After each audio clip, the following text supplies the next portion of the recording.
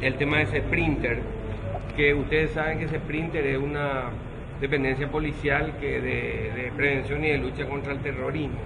Eh, hoy se publican algunos medios de que supuestamente se robó información de, una base de datos, una computadora de ese printer eh, que tiene su sede en Luque.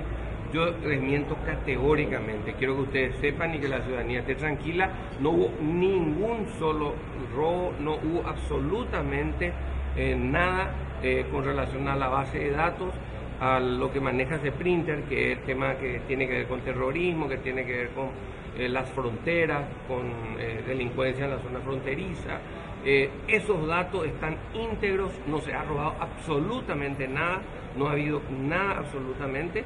Es normal el trabajo del ACE Printer.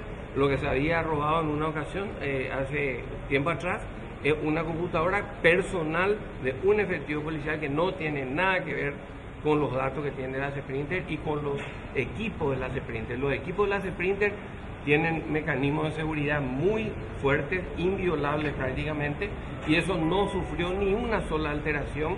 Quiero que eso quede tranquila a la gente, que no hay nada absolutamente de los datos de la policía con relación al tema terrorista que haya sido filtrado, que se haya robado de la dependencia policial.